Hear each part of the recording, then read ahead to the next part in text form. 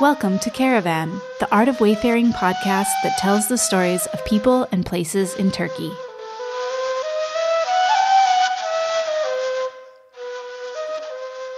Politicians get a bad rap. If there was ever a time that the populace implicitly trusted the leaders of their country simply because they held respected positions of authority, that time is over. That's why, for so many foreigners pouring into Turkey year after year, the local veneration of the founder of the Turkish Republic is so baffling and so fascinating. His image is on the money. In many cities, there is no public gathering space where his portrait does not hang.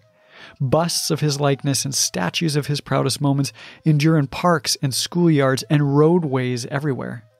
His most repeated quotes are embossed in steel and carved into stone to remind passersby what he thought and how he taught the Turkish people. Many tattoo parlors even will tattoo his name on your skin for free just to show off the grandeur and endurance of his legacy. We are, of course, talking about the most towering figure in modern Turkish history, Mustafa Kemal Ataturk. Kemal was born on the 19th of May, 1881, in the then Ottoman town of Selanik, today's Thessaloniki. His was a fairly typical middle class Ottoman family. His father was both an officer in the local militia and a clerk, and his mother was a housewife. Even though three children were born to the household, only Kemal and his sister would survive to adulthood.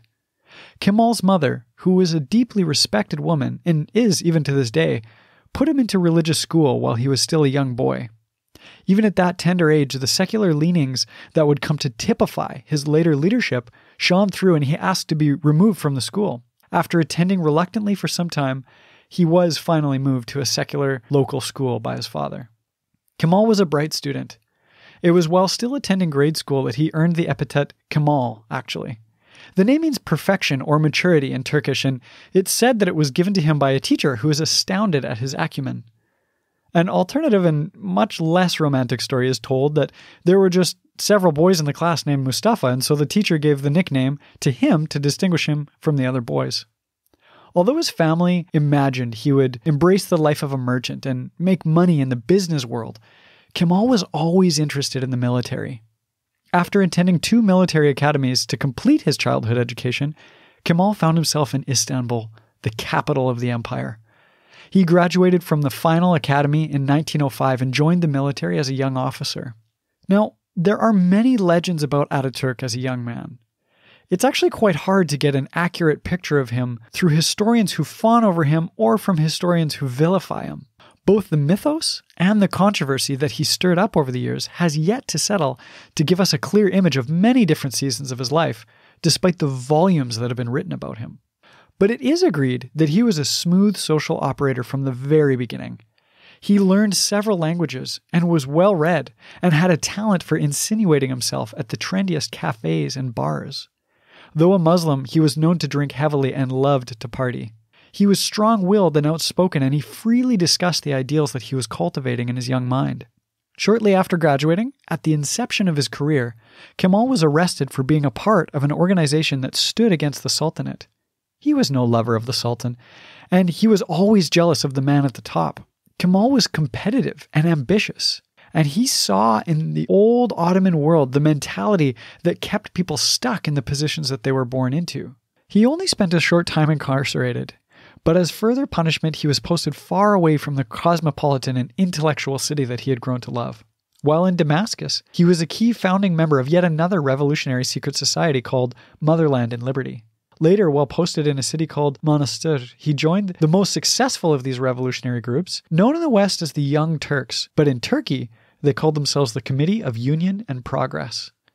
Driven and hungry for change, Kemal wanted to act. He got his chance in 1908 when the Young Turk Revolution seized power from the Sultan Abdulhamid II. Taking control of the leadership of the country, they decided not to depose the leader. Instead, the Young Turks forcibly pushed the country to restore the constitutional monarchy and began to operate from key roles in the government. One can imagine the personality mix of military personnel and bold leaders and politicians that would move against a 600 year old monarchy. Unsurprisingly, Kemal found himself at odds with the other strong wills within the organization. Until that point in his life, he didn't have the social and political capital required to win the ensuing standoffs.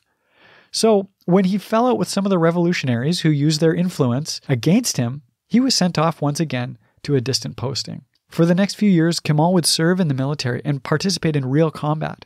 He learned lessons about leadership from the battlefield during the Italian Turkish Wars and the Balkan Wars. And through it all, he honed his ideologies like a blade. As in his academy years, he favored European dress and etiquette more and more and found himself in the middle of a few romances.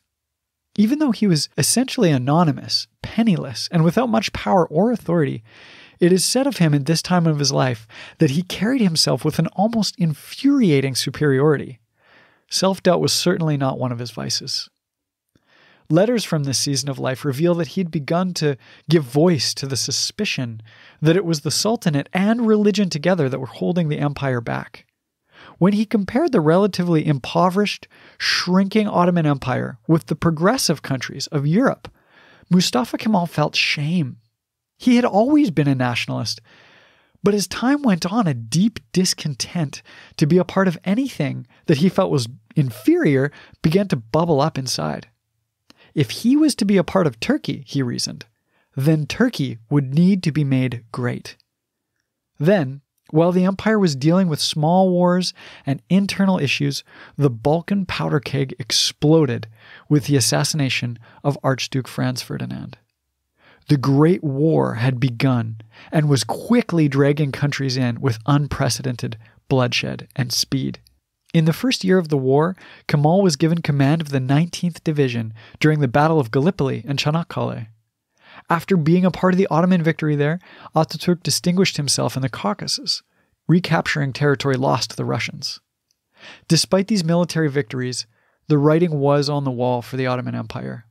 They were the weakest of the Central Powers and had been losing territory for generations. Kemal saw that defeat was coming but he also saw the opportunity for a new country to rise from the shattered remains of the empire. In the heat of war, he had performed well and learned much, not least of which was the value of his identity as a hero.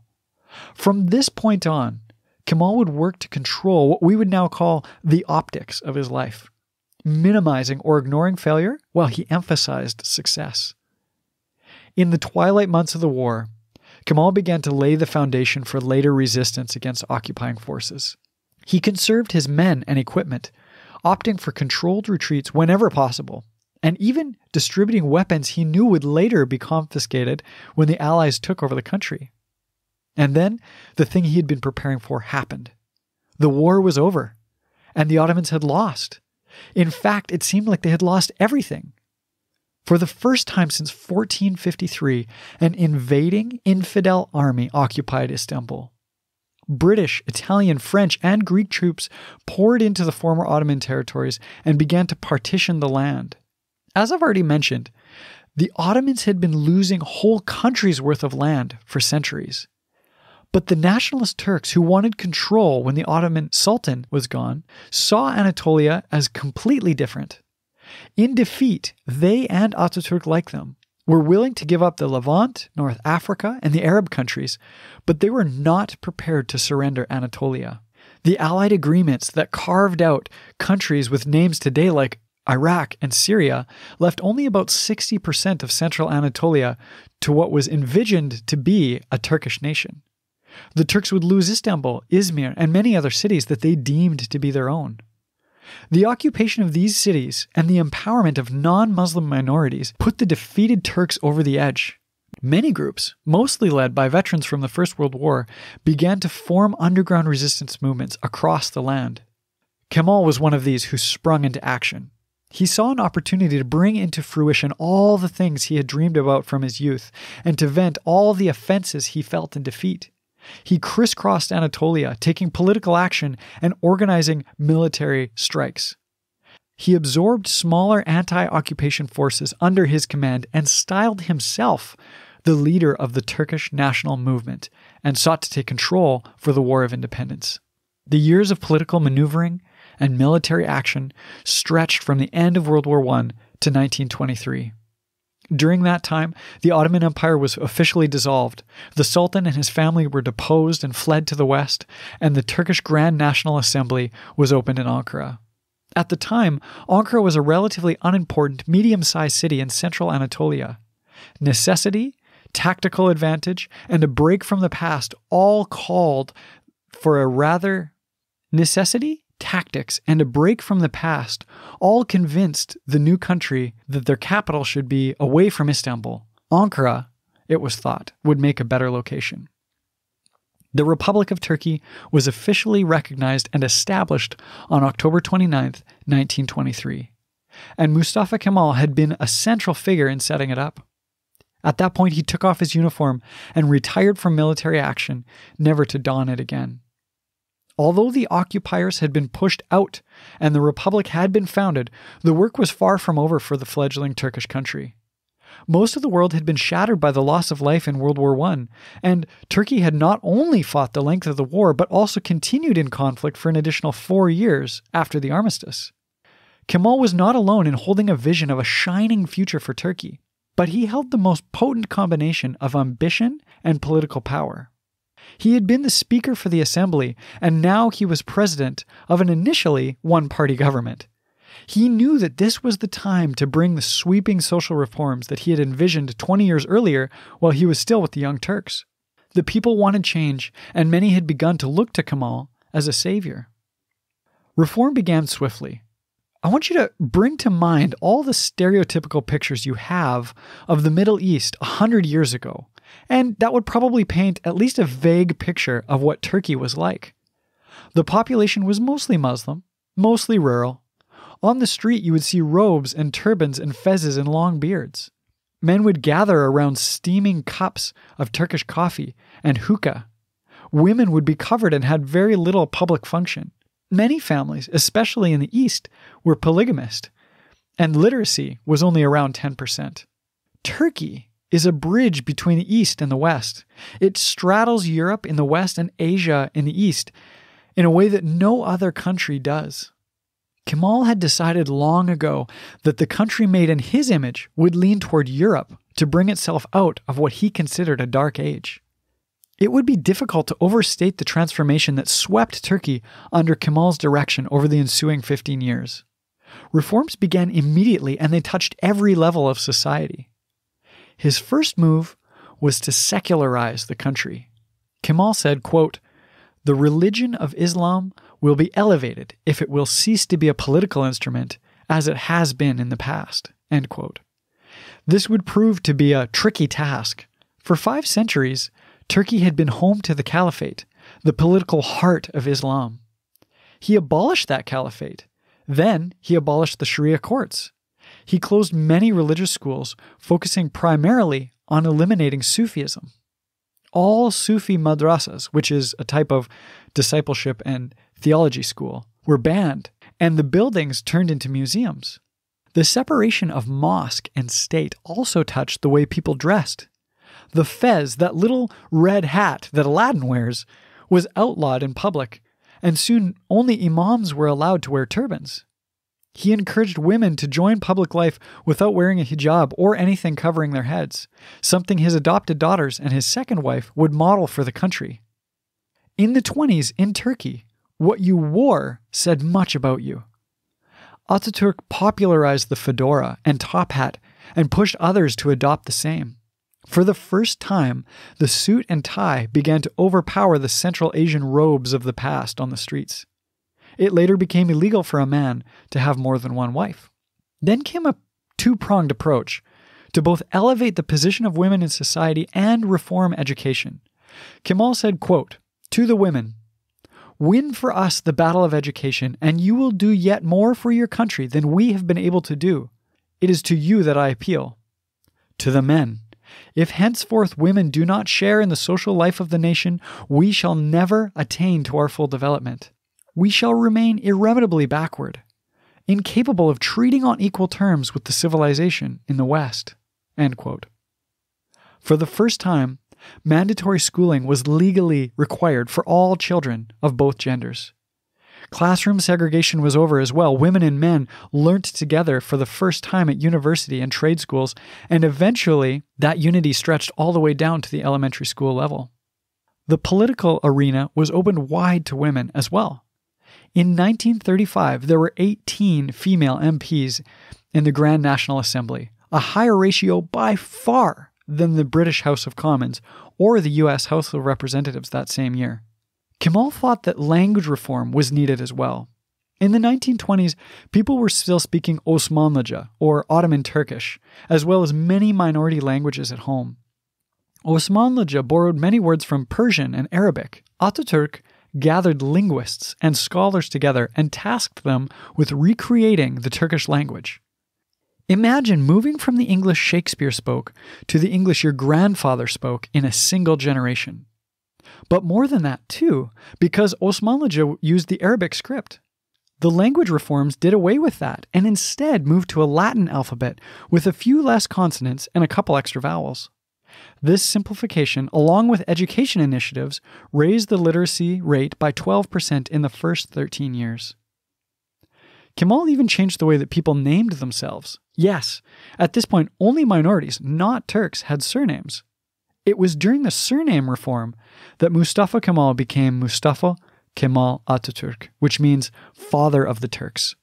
Ataturk, in fact, is a special surname that can only ever legally belong to him. For years, Ataturk worked tirelessly. These new initiatives were not without critics, and they were not without victims. The bloody conflict between Turks and Kurds, which continues on to our day, was accelerated in this time. Turkey was to be a Turkish republic, Ataturk taught. Turkish was the language, the national identity, the worldview, and the value system. But the Ottoman Empire had been multicultural and had allowed for many disparate cultural identities. To unify the country, Kemal saw it necessary to enforce assimilation or to drive minorities out. For instance, it became illegal to take a Greek, Armenian, or Kurdish last name or to use a suffix from those languages in one's own surname. This is also the time when over a million Orthodox Christians, even Turkish ones, were sent to Greece. The population exchange uprooted whole communities on both sides of the border, sending Muslims to Turkey and Christians to Greece. In the 20s, one in four people living in Turkey were a part of a Christian minority, but by the end of the century, it would be less than 5%. Minority Orthodox of various racial identities were Anatolia's artisans. Suddenly, whole industries were lost across the land as the Greeks and Armenians and Suryani especially disappeared. By 1937, Ataturk was beginning to show the strain of this monumental struggle. He had smoked and drank heavily, and he worked endlessly. In his lifetime, he fought communists, fascists, and monarchs who opposed his ideologies. He cajoled and schmoozed and smashed local and national leaders into line with his new republic. He also adopted a number of daughters and tried to raise a family. Among them was the world's first female fighter pilot, Sabiha Gökçen. But in the end, he had won. He had become the character he created for himself in his own mind. By the force of his will, and his shrewd operating, he created a new worldview for his country and was able to position himself at the center, both as its founder and as its ideal citizen. Though his ego was massive, he was genuinely driven for the betterment of the Turkish people. It cost him two wives, one to suicide and one to divorce. It cost him his health. At just 56 years old, he was diagnosed with cirrhosis of the liver. Within a year, on November 10th, 1938, Ataturk died on the shores of the Bosphorus in Istanbul, in Dolmabahce Palace, at exactly 9:05 a.m.